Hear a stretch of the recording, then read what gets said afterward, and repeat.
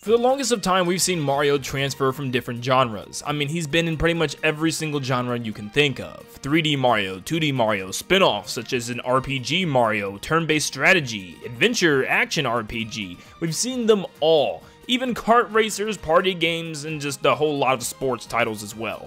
Mario has covered almost every single genre. I mean, the only thing that we really don't have is a third person slash first person shooter from the company. And technically, we do have Mario Rabbids, which is more tactical based, but they do have guns. So yes, Mario has covered so many things.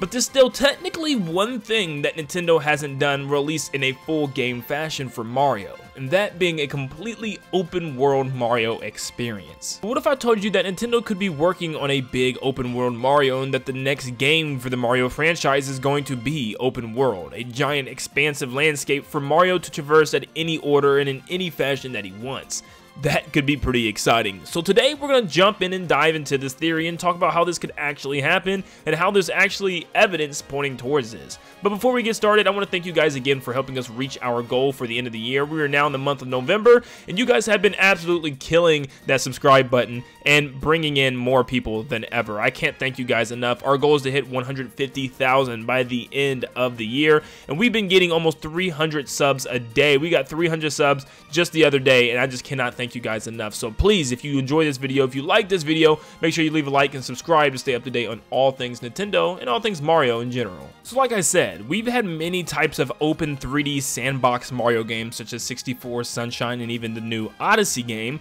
but of course these are not purely open world Mario games. These kind of have its limitations and limits with different missions and segmented levels, meaning that there's always a world map or some type of way to travel to the next area and we haven't had a fully interconnected world that Mario could just roam and run to any world, any level, at any time that he wants. Well, that is until Bowser's Fury released. Bowser's Fury was a side mode to Mario 3D World, and it was something completely different that we have never seen from Mario before. It was a fully open world for Mario to explore. Kind of. You still had to unlock different levels in different regions, but it was all interconnected once it was all said and done. Everything wasn't accessible from the very beginning, but eventually, by the very end, the entire Lake Lapcat was all available to Mario and Plessie to ride around whenever they wanted to. And halfway through the game, you could pretty much collect any cat shine at any location that you wanted. What was so odd about this is this game was just such a weird spin for Nintendo, and we know Nintendo doesn't do these things on purpose and completely forget about them and ignore them. For the most part, they do these things as a test. I mean, let's just take Kirby for instance. They released two smaller 3D Kirby games on the 3DS to test how Kirby would work in a 3D environment, and now look what happened. Boom, we have a big brand new 3D adventure game for Kirby coming next year in the form of Kirby and the Forgotten Land.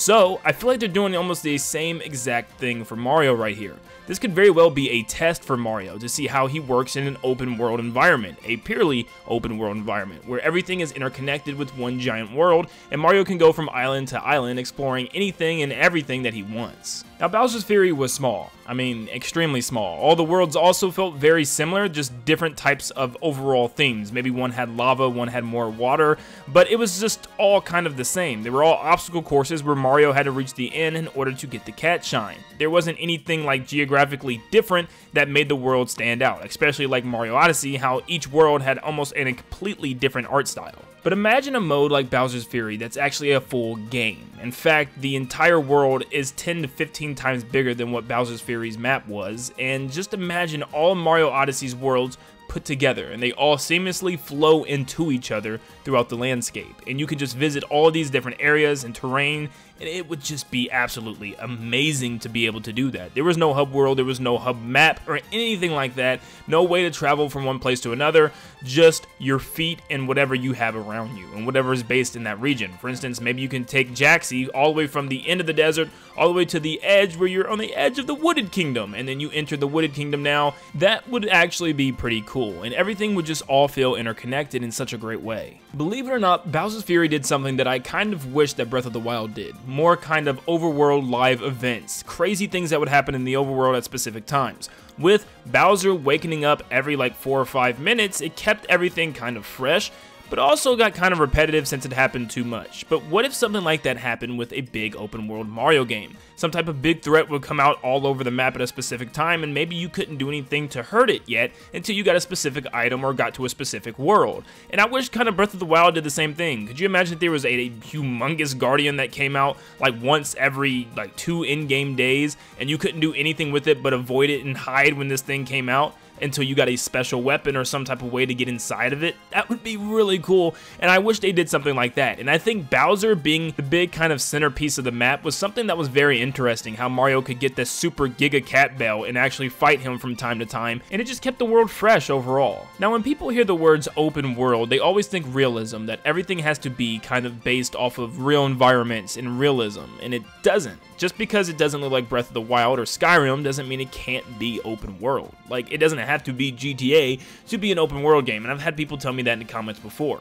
This could be an open world with its own Mario spin. Everything will feel like Mario at its core. Like I said, it would pretty much be if Mario Odyssey took all of its kingdoms and plopped them together in one single map where you can just seamlessly transition from one place to another. That's where Mario needs to go, and I think Mario's future could definitely be something like that. Whether it's Mario Odyssey 2, Mario Galaxy 3, or just a completely brand new Mario game, I think open world definitely should be the way that they should go. And that just sounds so exciting. You know, Mario can get any items that he wants at any order, find new items that opened up new paths, and just find all types of cool things throughout his adventure.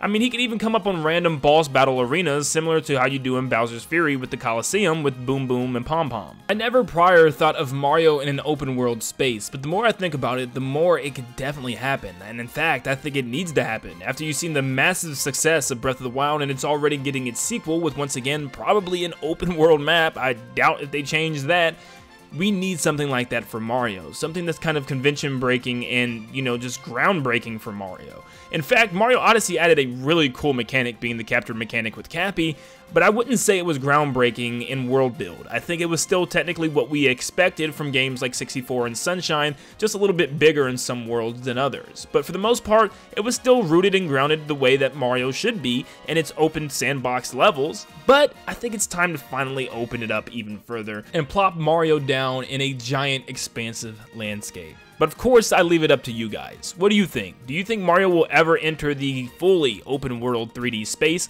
Do you think Mario could pull it off, especially with after what they shown us with the little almost tech demo like Bowser's Fury game mode?